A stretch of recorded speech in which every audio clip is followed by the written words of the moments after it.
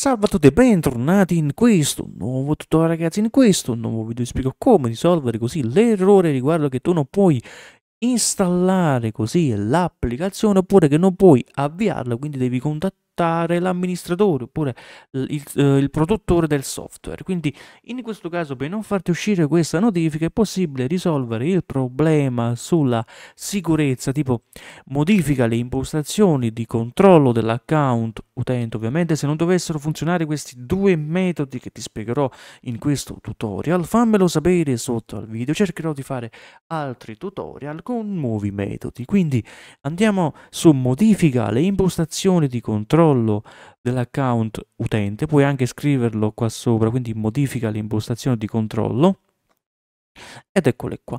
Notifica solo quando un'app tenta di eseguire modifiche nel computer. Se tu adesso imposti questa, l'utente tenta di installare il software, quindi non notificare mai all'utente quando, quindi devi mettere questa qua Così facendo uh, potrai uh, bypassare quel controllo. Io ovviamente tengo questa perché ci tengo uh, all'applicazione che installo, ma ovviamente a te è solamente un piccolo problema, quindi se per esempio uh, scarichi, installi sempre queste applicazioni e ti esce sempre questa notifica, imposta l'ultimo, ok?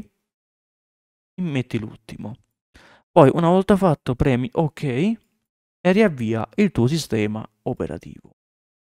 Come secondo metodo andiamo direttamente su criteri di sicurezza locali, vai su criteri locali, opzioni di sicurezza, scendi fino a giù fino a trovare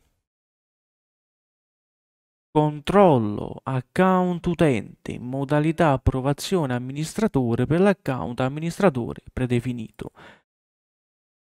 Io non tengo né attivato né disattivato, quindi quando vado a scaricare e installare un'applicazione non mi dice niente perché poi l'amministratore del computer sono io, sono io che controllo il mio computer, quindi sono io che comando qua sopra, quindi qua tu metti disattivato e fai applica e fai ok.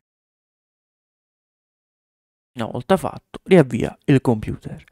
Come ho detto, se non dovesse funzionare con questi due metodi, puoi sempre scrivere sotto al video, cercherò di realizzare altre guide con altri uh, metodi. Quindi grazie a tutti per questa visione, iscriviti, lascia like e noi ragazzi ci vediamo ad un prossimo tutorial. Ciao!